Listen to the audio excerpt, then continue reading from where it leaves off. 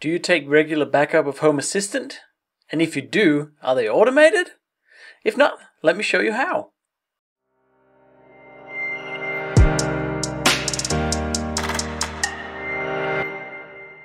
I've been taking backups of Home Assistant regularly ever since it failed.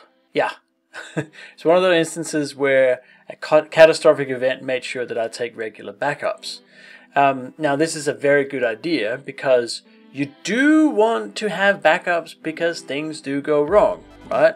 So in this video, I'm going to show you how to automate this and use your NAS drive uh, as a storage device because there's a really cool new feature in Home Assistant. Alright, so let me show you how.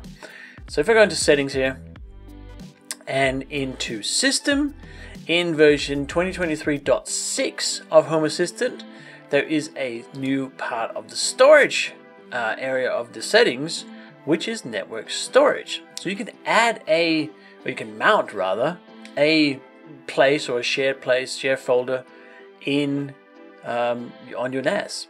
Right, so let's do that. So we're going to add network storage. So in here we're going to give it a name. I'm going to call this Merlewood NAS because that makes sense.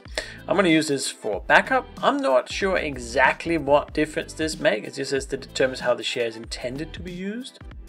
But it's intended as backup. Now server is just my IP address, which is there. And then I'm going to use the Samba or Windows protocol, um, which is what it supports my NAS, my Synology NAS. So the remote share is, I'm just going to look at my notes here, is media um, slash backup, and I'll show you why that is in just a second. Oh, sorry, HA backup, there we go. And then I have my username, which is HA backup and then my password, which I'm just going to copy across from here. Right. Now this all correlates to my Synology NAS, which is here. And in here I have created a folder. In my media folder, there's a HA backup folder um, on this particular drive. Um, and I have created a user under this. So if I right click whoops on this and I go to properties, I can see permissions. I have a HA backup user which is allowed to use this particular share. Now you there's many ways of slicing this cheese, but I like having a specific user with a specific purpose in this case. So once I have that, I now have my target uh, you know, directory or that I can mount in Home Assistant. So back in here, and I just have to click connect. There we go. As simple as that. And now I have a network storage. So the main thing here is to make sure that your user has permissions to access that. And an easy way to do that is to uh, put this particular um, address into your Windows Explorer or whatever file explorer you're using. Make sure you can access that. Now you have to obviously get the right syntax for that. So on Windows it's backslash backslash IP backslash media HA backup, which will then take me and ask me for login, and I can use my HA backend backup user's credential to log in and make sure that I can access it. But now I have a target. I have somewhere I can store backups. Right, so that's step one.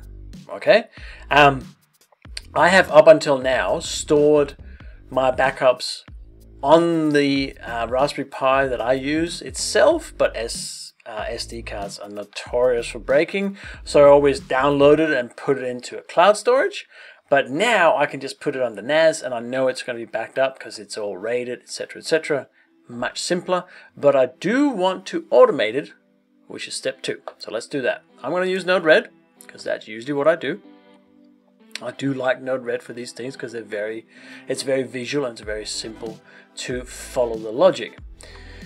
Okay, so I'm going to add another tab. So I'm starting to get a lot of tabs here, so maybe I have to reorganize Monday. But I'm going to add another tab at the end here, and I'm going to call this one uh, backup until I get a better name. But backup for now will do. And this will, first of all, I need to trigger this. So I, up until now, I've done monthly backups because I've done them manually, really, and I know I've copied, etc. But now, since it's going to be automated, well, why not do weekly, right? So I'm going to inject uh, repeat at specific time, and I'm going to do it at midday. That's fine.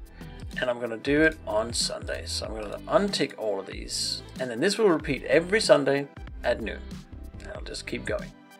Um, and then after that, I'm going to need um, some way of naming these backups. I've always used date time um, because it's easy to see when it was done. So I'm going to continue to do that. So I'm going to go down here and I'm going to get a uh, change, which is you can change the payload that comes out of this, which we don't really have a payload, so we're just going to set it. You can also change, delete, and move it, but we're just going to set the payload. So that's the uh, the data that comes with in the you know in the request in the flow of this automation. I'm going to set it to the where uh, to a timestamp value, right? And then if you're not familiar with the timestamp, it's something like second since 1st of January 1970 or something. It's some long number that doesn't mean anything to anyone. So the next step, of course, is to um, format it. So in Node-RED, there is a very handy date time formatter, which is um, for this exact purpose. So I'm just going to put payload in. So we can set this, and it's already almost pre-populated most things. So we can set it to payload and input time zone Australia is Sydney. That is my time zone, so that's fine. And then my output format. Now the ISO 8601 is that sort of uh, 12 Jan blah blah blah, like letters and numbers and stuff. I don't want that, so I'm gonna use my own. Well, not mine, but a format I always use to be honest. And I'm just gonna copy it here, which is year year year year. So four digit year, two digit month, two digit date, underscore hour and minutes. The reason I do it that way is that it'll always sort chronologically, right? When you have the year, month, date first, it'll always sort the right way. So that's why I normally use that. And then the output of this is going to be to the payload as well. So we're going to take the payload in, being the timestamp, we're going to format that into this format, and we're going to put it back on the payload. So that now the payload of this date time formatter is what we can use for our backup. All right, and the backup is pretty simple. So you just call a service. That's how neat it is. So in here, let's give it a bit more room here. Um, we're going to set, there we go, the service that we're calling in here. So I'm just going to say uh, backup to Melwood, oops, NAS. The domain is hassio. Um, so the operating system itself of Home Assistant. And the service is backup full or partial. I tend to do full backups. Storage is cheap. I just like having that. You know, if you want to disagree, go in the comments. More than happy to to be wrong about that one. Uh, I'm going to use JSON because I'm going to use the variable payload in this. Um, and for some reason, I always have to use JSON. I can't get the other J, whatever it's called. J, J expression. Huh? I can't get this to work. So let me just copy that in. So this is what I have. I have a name. So I want to give the backup a name, which is going to be the payload. So that's our date timestamp underscore full. And the location is just the name of the storage that we created. It's that simple. It's just that. The target is that name, Melwood underscore NAS. All right. So, and that is it. And then of course I have to deploy it. And that's a very basic way of having uh, automated backups once a week to my local NAS so I know it's on at least two drives. Um, I could even set that NAS drive up to then be synchronized to the cloud as well, and it'll all be automated in that sense, which we might do that later on. Um, but let's just run this so you can see what happens, um, because there's one quirk which I think is a bug but I'll let you comment on that in the in the comments. So let me just click here, and you see it's going to send the backup. So that sends the backup job to Home Assistant, and then it takes roughly 10 minutes for it to finish. Um, but uh, yep, there we go. See, now it's cold and it's gone green, but it's not actually done. But once it's finished, I'm going to come back to you so you won't have to wait for this. Alright, so that's finished. So let's just go and have a look in Home Assistant. So if we go to settings and I go to system and then you can see backup, last backup 11 minutes ago. For some reason it, the timing is when it started. I don't know. Um, and you can see here is exactly as I wanted it. 2023 06 16, which is today, and then the time 5 well 1708 508 p.m. underscore full. So that's exactly as I um, wanted it, and it's automated. It runs once a week on Sunday. However, I did back it up to my NAS, right? So this file here is on the NAS, and these three files here are on the Raspberry Pi, and you can't tell the difference. So maybe that's good, maybe that's bad, I'm not sure. Uh, if I click on it, it doesn't actually say where it is that it's on Merlwood NAS, so maybe there's a future improvement coming for that. But here's what I think is the bug. This file is on the Merlwood NAS because if I go back to Merlwood NAS and I go into HA Backup, there's a file. But this file is called d5c4dc37.tar.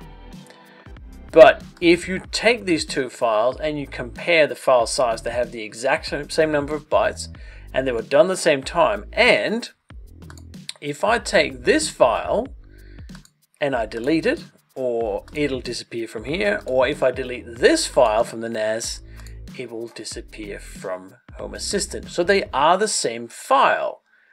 I just don't know where this file name is coming from. Uh, so if you know, I would love to know as well. Please put it in the comments. I considered renaming the file and all sorts after the fact, but I'm like, meh, they are the same file. I can see it at Home Assistant with the right file name. So I'm like, I'm good for now with that, but hopefully that's something that's going to get fixed. It's probably just a bug fix. Um, anyway, I hope that was useful. If you like little tips like this in this video and other automation tips and networking videos, please do consider subscribing to the channel. That is how you can support me the best in the content that I create regularly. And if you have any comments, yeah, put them in down below. I love comments. I reply to all comments that warrant a reply. And, and uh, I will see you in the next video, which might just be one of my bigger videos. That's going to be quite the journey. I, I'm going to enjoy that. Anyway, I'll see you next time.